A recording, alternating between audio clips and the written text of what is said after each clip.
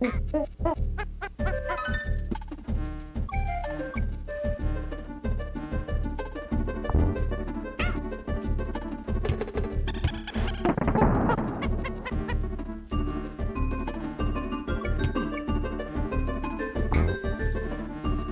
thing on that is make sure you're on the very corner.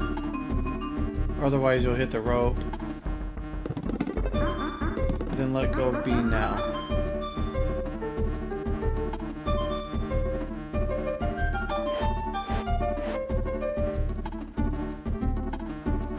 And you should pretty much take this all the way to the end of the level.